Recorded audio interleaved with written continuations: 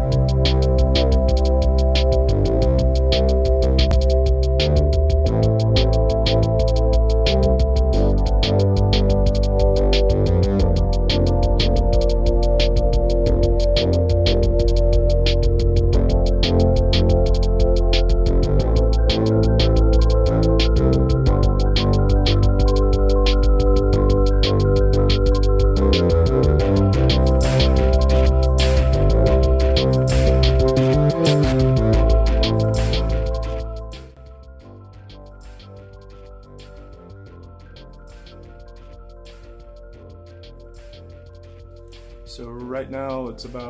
32 degrees inside, one thing I've noticed is it's been consistent.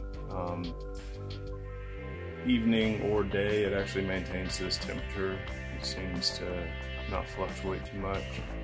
Uh, whereas outside, obviously, 90 degrees is actually still pretty cool. That thermometer outside is actually sitting on the wall, too, so it's kind of getting the reflection or the, the radiant heat that the wall kind of stored through the evening the other night, or through the day.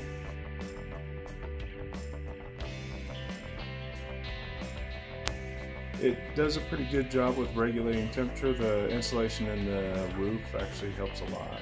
Um, that was something I've been curious about. It's still not totally sealed up, but we're making progress with that and you can tell a big difference there.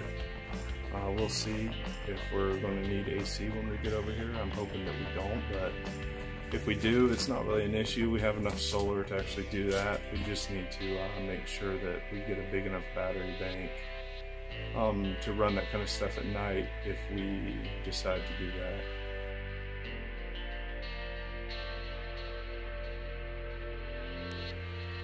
It gets cool enough here where you can actually open the windows at night or in the evening and have the cool breeze come through and just cool things down. So maybe that will be an option as well.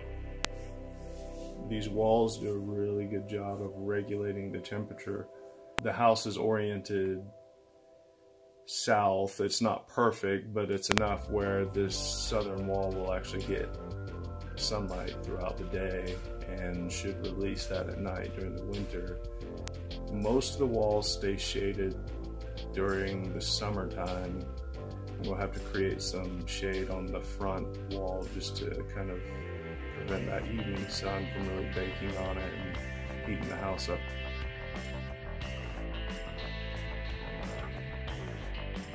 One thing I found in my research with rammed earth is supposedly every inch of thickness that your wall is, it takes about an hour for um, outside temperatures to penetrate. Our, our walls are actually 24 inches thick.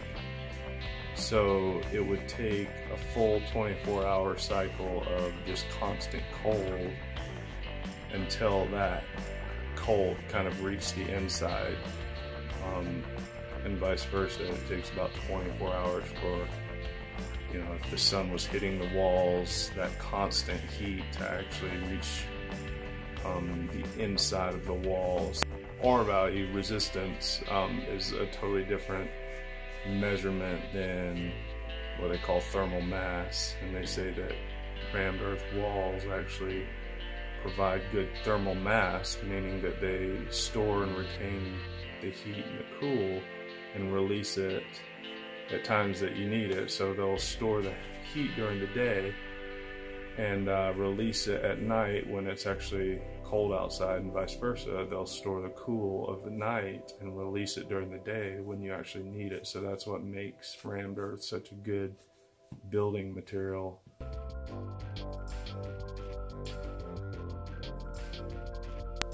Um, a lot of people associate building with earth with poverty. Um, but if you actually start researching rammed earth, it's one of the, it's almost cost prohibitive unless you do it yourself or unless you have a lot of money. And we definitely don't have a lot of money, so our only option was to do it ourselves, which I probably wouldn't do it any other way, if, even if we had money. That's just, I'm, I'm dumb like that, I think. You'll find that, you know, a lot of great architectural buildings in the Southwest were created with rammed earth, and that you know it's not a cheap material if you actually pay to have it done. A lot of the value in rammed earth is in actual labor and uh, the time and energy it takes to actually put it up. And, you know, I, I, that seems to be true with everything in the world that value is really consistent with how much time and energy anybody has actually put into um, that product.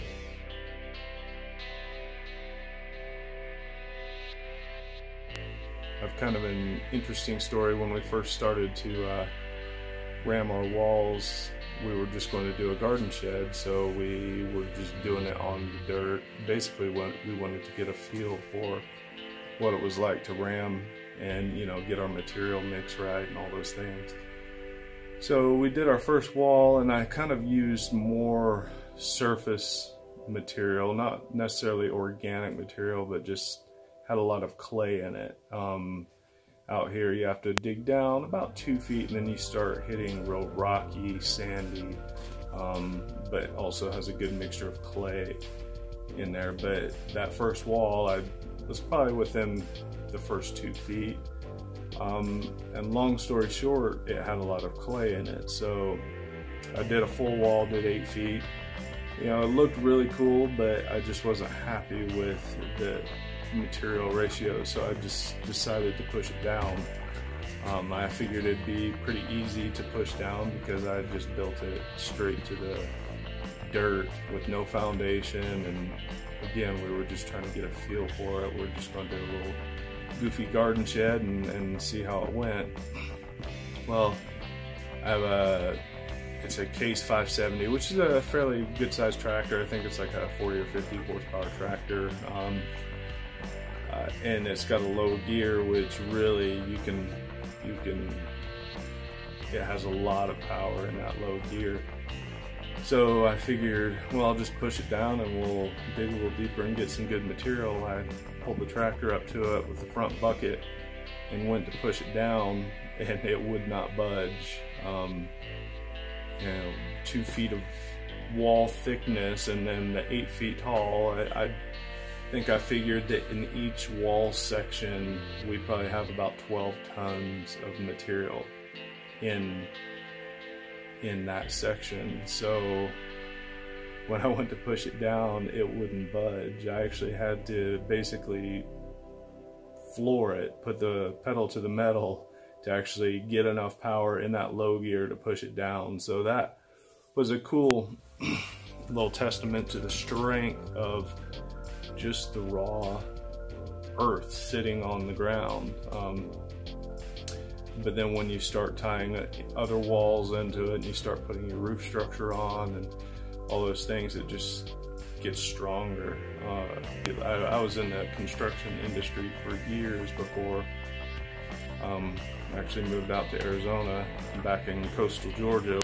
We um, used the Miami-Dade building codes out there, which are some of the most strict in the country because of you know the possibility of hurricanes and we'd build block walls, reinforced block walls, you know, had to abide by that Dade County building code, which is basically Miami, Florida. Um, they get hit with hurricanes a lot, so most of the coastal regions of the country kind of adopt their building codes. But I, I would venture to say that, you know, reinforced block walls and, and with rebar and uh, tied into footings and all that would have come down easier than this wall that um, I actually had to push down with this rammed earth. So if there's any question as to the strength of rammed earth, I, I think that people are just misinformed, um, don't know. It's one of those materials where people just have no clue.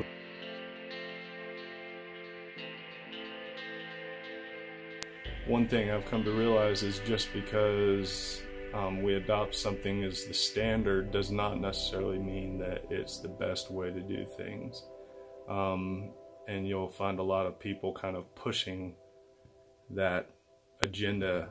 I guess that's what you would call it, is an agenda, but basically, you know, the safety sallies out there saying that you know, it's not safe because it's not reinforced and this and that, which obviously rebar would probably make it stronger.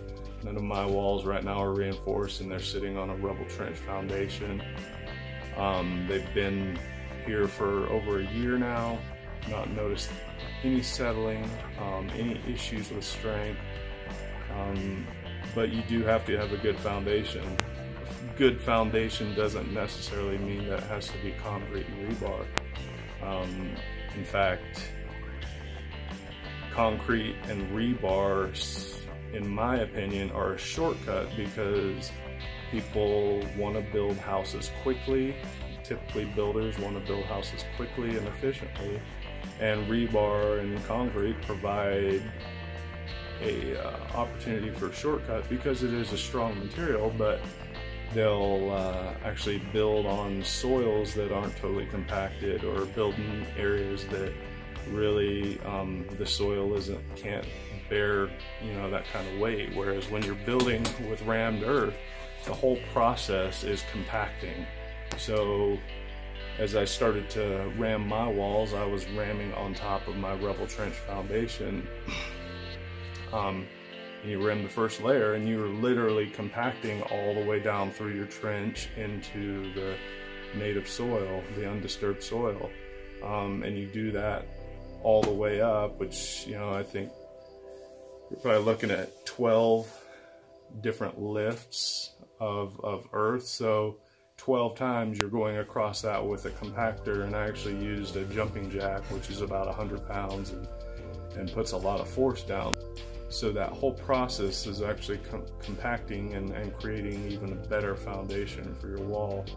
Like I say, I've these have been up for a year and we've been through a monsoon cycle and winter and freezing and all that with them and I have not noticed any bit of movement in these walls yet. Uh, there's a lot of benefits to using rammed earth and I think that uh, as you research it, you'll, you'll probably find that, that that's the case as well.